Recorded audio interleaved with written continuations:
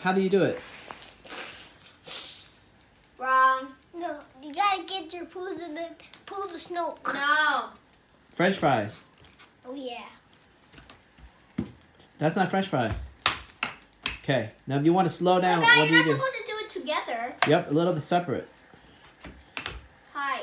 You're doing the opposite pizza. You're gonna fall like that. You did that. Okay. Now, how do you slow down? Wrong. That's the worst. If you do that, you're gonna for sure fall. You Because one leg is gonna go here, the other leg is gonna go there, and it's gonna you're gonna do the splits. Yeah, you have the zigzag, and then you slow down, and then you do the pizza. So how do you slow down? Zigzag. Pizza. Watch out for Chewy. How, Pizza. pizza. Can you do pizza? I do not know pizza. Mm. Mm-mm. Look at Annika's toes. They're pointing to each other. Yeah. Yep. No. You can't cross. You, you do that, okay? Try to do that, but don't cross it like that. You'll fall, and you're scratching. So you're gonna be like this. Point in is to slow down. I cannot do that.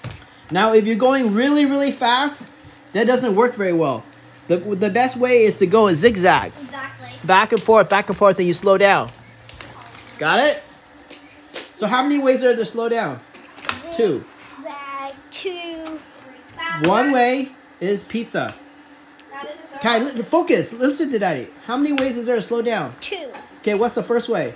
Um, like pizza. pizza. Okay. If you're going too fast, that won't work a lot, so you use zigzag. Yep, if you're going fast, you'd rather zigzag. Because pizza is going to tire you out. How the third way? You know what's the third way? What? Your face.